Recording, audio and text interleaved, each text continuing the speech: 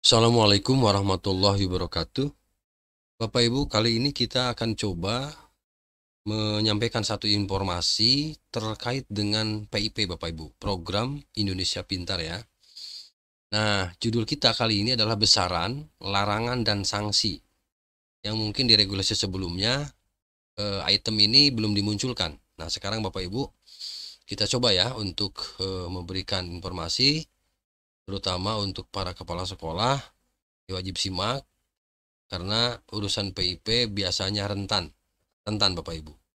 Dan ada satu lagi Bapak Ibu ini ada perubahan besaran PIP yang akan diterima di jenjang sekolah yang mana nanti silahkan disimak Bapak Ibu.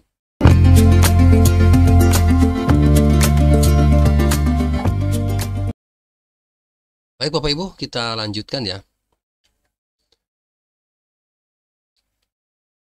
Ini adalah surat dari e, Pusat Layanan ya Pembiayaan Pendidikan Bapak Ibu terkait dengan Persesjen nomor 20 ya tahun 2023 tentang petunjuk teknis ya petunjuk pelaksanaan program Indonesia Pintar pendidikan dasar dan pendidikan menengah.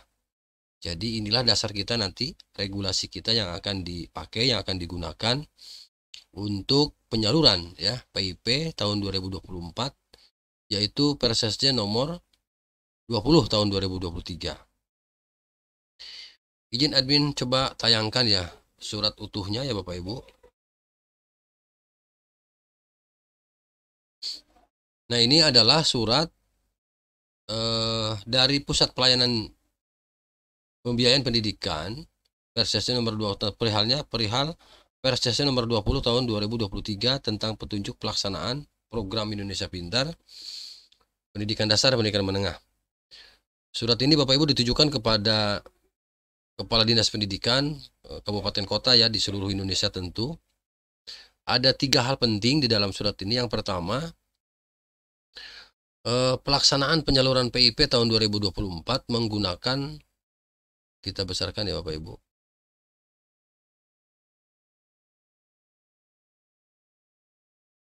Nah, pelaksanaan penyaluran PIP tahun 2024 menggunakan mekanisme yang tertuang dalam Peraturan Sekretaris Jenderal nomor 20 ya, tahun 2023. Lalu poin kedua, perubahan yang tertuang di di antaranya adalah besaran bantuan PIP Dikdasmen bagi peserta didik jenjang pendidikan menengah. Baik itu SMA, SMK, dan paket C. Ya Bapak Ibu dan mekanisme penarikannya ya dana PIP. Nah, jadi ada perubahan besaran, perubahan jumlah yang akan diterima nih Bapak Ibu untuk pendidikan jenjang menengah, SMA, SMK dan paket C. Lalu poin yang ketiga adalah agar segera menyampaikan informasi dan mensosialisasikan peraturan dimaksud kepada satuan pendidikan yang berada di wilayah kerja saudara. Jadi anggap saja kita ini sosialisasi ya Bapak Ibu terkait dengan Eh, keluarnya Persesnya nomor 20 tahun 2023 tentang petunjuk pelaksanaan penyaluran PIP ya Bapak Ibu. Kita kembali ke slide sebelumnya Bapak Ibu. Nah, untuk supaya lebih fokus kita, paparan kita kali ini adalah Bapak Ibu eh, tentang pertama penerima PIP di Daxmen ya, penerima PIP di Dasmen. Siapa saja ya penerima program Indonesia Pintar, pendidikan dasar dan menengah itu. Lalu yang kedua adalah besaran dan peruntukannya. Besaran atau berapa jumlah yang akan diterima masing-masing siswa ya. Lalu yang ketiga adalah jadwalnya. Jadwal penyaluran PIP tentu tahun 2024 ya. Lalu yang berikutnya larangan ya, larangan dalam pelaksanaan PIP. Bagian-bagian mana saja atau apa saja yang dilarang ketika bergulir ya pelaksanaan PIP ini Bapak Ibu. Kemudian yang terakhir adalah sanksi. Jadi bagi Bapak Ibu, teman-teman kepala sekolah, pemangku kepentingan yang e, melanggar atau yang melakukan eh, hal-hal e, yang dilarang, maka ada sanksinya. Nah, sanksinya nanti kita lihat. Baik Bapak Ibu, pertama kita ke penerima PIP dulu ya Bapak Ibu. Untuk penerima PIP di Dasmen bahwa ini diperuntukkan bagi anak-anak berusia 6 tahun sampai dengan 21 tahun dari keluarga miskin atau rentan miskin. Nah, prioritas sasaran yang pertama adalah peserta didik pemegang kartu Indonesia Pintar. Jadi, ini wajib Bapak Ibu, wajib memiliki KIP, KIP ya, Kartu Indonesia Pintar. Kemudian yang B-nya peserta didik dengan pertimbangan khusus. Nah, siapa saja peserta didik yang menerima PIP dengan pertimbangan khusus itu? Yang pertama peserta didik yang berstatus yatim dan atau piatu ya termasuk yang berada di panti sosial atau panti asuhan. Yang pertama. Yang kedua peserta didik yang berpotensi putus sekolah dan baru kembali bersekolah setelah putus sekolah atau kita mengistilahkan namanya drop out. Lalu peserta didik yang terkena dampak bencana alam, peserta didik korban musibah di daerah konflik, peserta didik berkebutuhan khusus, disabilitas, lalu peserta didik yang orang tua atau walinya sedang berstatus narapidana ya yang orang tuanya yang berstatus narapidana di lembaga pemasyarakatan. Dan yang ketujuh peserta didik yang berstatus sebagai tersangka atau narapidana di rumah tahanan atau lembaga pemasyarakatan. Jadi untuk nomor 6 ini adalah orang tuanya yang ada di LP lalu yang nomor 7 adalah peserta didik yang berstatus sebagai tersangka atau narapidana ini juga sama berhak dapat ya. Oke. Nah, sekarang besaran Bapak Ibu. Besaran dan untuk apa gitu ya. PIP ini. Nah, besaran dan peruntukan bantuan PIP Dikdasmen ini bahwa bantuan PIP diberikan kepada peserta didik penerima ya, sebanyak satu kali dalam satu tahun. Satu kali dalam satu tahun anggaran pada jenjang pendidikan yang sama. Nah, di sini untuk sasaran penerima PIP untuk sekolah dasar, kemudian SD SD ya, kemudian SDLB dan paket A. Nah, semester genap besaran yang diterima khusus untuk kelas 6 ini 225.000. Semester genap ya, semester genap 225.000. Lalu untuk kelas 1 di semester ganjil ini 225.000 juga. Jadi tidak 450 ya. Kenapa semester genapnya ini? Karena satu tahunnya ini dianggap eh, apa namanya sudah mulai tidak aktif gitu ya. Anak-anak kelas 6 itu artinya sudah mulai selesai sekolahnya. Makanya di semester genapnya diterima 225.000. Jadi setengahnya. Dan untuk semester ganjil itu kelas 1. Ya, kelas 1 di semester ganjil, kelas 6 di semester genap. Lalu sebesar, nah bagi untuk untuk di semester genap untuk kelas 1, 2, 3, 4, 5 ini utuh yang nerimanya 450 ribu.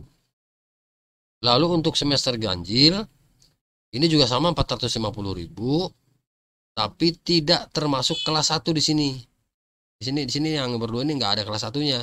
Kelas 2, 3, 4, 5, 6 untuk semester ganjil. Ini utuh 450.000 kemudian eh, di yang di sini nggak ada kelas 6 nya ya di semester genap. Karena semester genap ini kelas 6 menerima 250 eh, maaf 225.000 tidak 450.000 jadi ketika ada masyarakat ya ada eksternal yang bertanya mengapa tidak di menerima utuh yaitu dasarnya ini Pak ya Ibu ya dasarnya ini oke kita lanjut sekarang untuk SMP, SMPLB atau paket B. Ini besarannya 375.000 untuk kelas 9 ya. Kelas 9 itu kelas 3 SMP berarti. Ya, untuk kelas 7 dan 8 utuh 750.000. Kalau yang kelas 9 ini di semester ganjil, maaf di semester genap ya. Untuk kelas 9 ini setengahnya 375. Demikian juga untuk di semester ganjil. Nah, untuk di semester ganjil atau gasal yang nerima 375.000 itu untuk kelas 7 ya. Kelas 1 SMP. Dan yang menerima utuh kelas 2 dan kelas 3 SMP. Kelas 8 dan kelas 9. Nerimanya berapa? 750.000. Terus untuk SMA, nah ini Bapak Ibu ada perubahan, ini ada perubahan. Sebagaimana tadi di awal dikatakan bahwa ada perubahan besaran. perubahan PIP yang akan diterima. Untuk kelas 12 ya.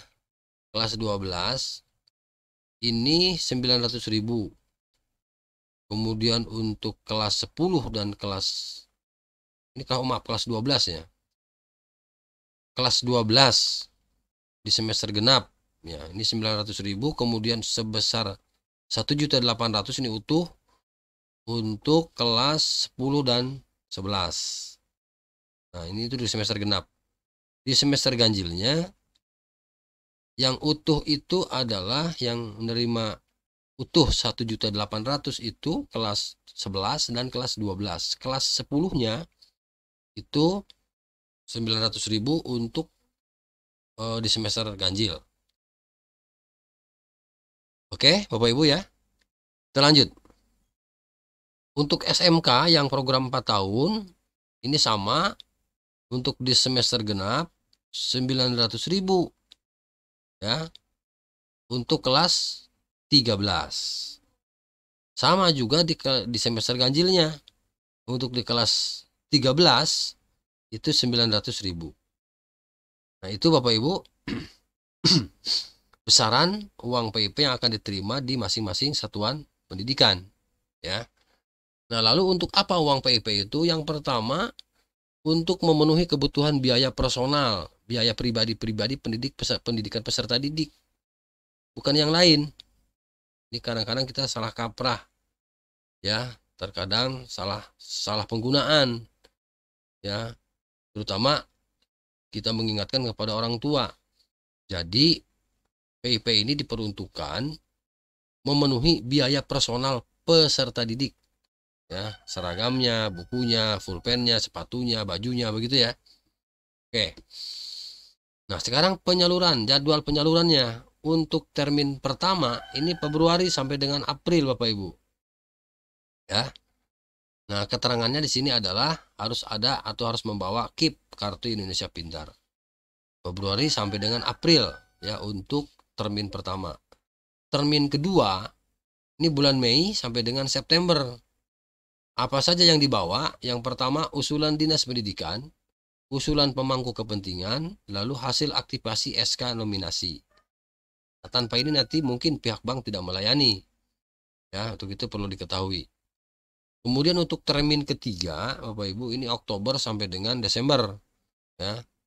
Termin ketiga ini Oktober sampai dengan Desember. Apa saja nanti yang dibawa pada saat penyaluran? Pertama, kartu Indonesia Pintar KIP, usulan Dinas Pendidikan dan usulan pemangku kepentingan termasuk hasil aktivasi SK nominasi. Ya. Itu Bapak Ibu. Kita lanjut. Nah, sekarang kita bicara larangan dan sanksi. Kita bicara larangan dulu. Larangan di sini yang dimaksud adalah untuk pengelola PIP dan atau pemangku kepentingan dilarang melaksanakan di luar ketentuan sebagaimana telah diatur dalam peraturan ini. Yang pertama, mengusulkan penerima PIP yang telah diketahui tidak sesuai dengan prioritas sasaran penerima PIP. Nah itu ya, nggak boleh. Kemudian tidak boleh melakukan pemotongan dan atau mengambil dana PIP yang diterima oleh penerima PIP. Apa pun bentuknya, berapapun besarnya di mana pun dilakukannya itu nggak boleh sekali lagi tidak boleh melakukan pemotongan atau mengambil dana PIP yang ketiga tidak boleh menyimpan atau mengambil buku tabungan simpel ya dan atau kartu debit ATM penerima PIP tanpa persetujuan peserta didik atau orang tua atau wali penerima PIP. Lalu yang Keempat, melakukan tidak boleh melakukan tindakan lainnya yang melanggar peraturan perundang-undangan yang merugikan penerima PIP dan atau kerugian negara. Nah, itu larangannya Bapak Ibu. Kita lanjut ke sanksi. Nah, ini sanksi. Jadi sanksi dalam pelaksanaan PIP. Apa sanksinya? Dalam hal pengelola PIP Dikdasmen satuan pendidikan melakukan pelanggaran pengelolaan PIP Dasmen, maka diberikan sanksi berupa yang pertama pengurangan dana bos. Ini penting Bapak Ibu. Ya, ini penting. Jadi pengurangan dana bos. Tiga, rekomendasi penghentian penyaluran dana bos P ya. Tadi pengurangan dana bos kemudian rekomendasi penghentian penyaluran artinya tidak bisa saja. Apabila melanggar PIP ini sekolah itu nanti disanksi tidak boleh atau dihentikan penyaluran dana BOP-nya maaf dana BS dana BOS-nya ya bos P-nya. Kemudian tidak diberikan bantuan pemerintah lainnya yang dikelola oleh kementerian. Nah, pemberian sanksi sebagaimana dimaksud pada angka 1 berdasarkan rekomendasi Inspektorat Jenderal ya berdasarkan rekomendasi dari Irjen ya Bapak Ibu. Nah, sanksi pemerintah daerah. Di sanksi ini eh, ada sanksi bagi satuan pendidikan, ada sanksi pemerintah daerah gitu ya. Dan sanksi terhadap bank penyalur. Ya. Apabila ada hal-hal atau ketentuan di luar itu tetapi tetap dilakukan. Nah, itu yang tidak boleh. Jadi sanksi itu pertama untuk satuan pendidikan, sanksi untuk pemerintah daerah atau pemangku kepentingan, lalu yang ketiga sanksi terhadap bank penyalur. Oke, nah. Yang B sekarang. Tadi ada pengurangan dana bos, penghentian penyaluran dana bos ya, atau diberhentikan bantuan-bantuannya. Yang B sanksi pemerintah daerah nih dan pemangku kepentingan dalam hal pemerintah daerah. Pemangku kepentingan dan atau tim pemangku kepentingan melakukan larangan dalam pelaksanaan PIP Dikdasmen, maka kuota penerima PIP Dikdasmen yang diberikan pada tahun berikutnya paling banyak hanya 80% dari kuota. Tuh ya.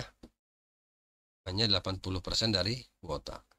Lalu yang terakhir, sanksi terhadap bank penyalur atau lembaga penyalur sesuai dengan ketentuan peraturan perundang-undangan dan perjanjian kerja ya perjanjian kerjasama penyaluran dana PIP.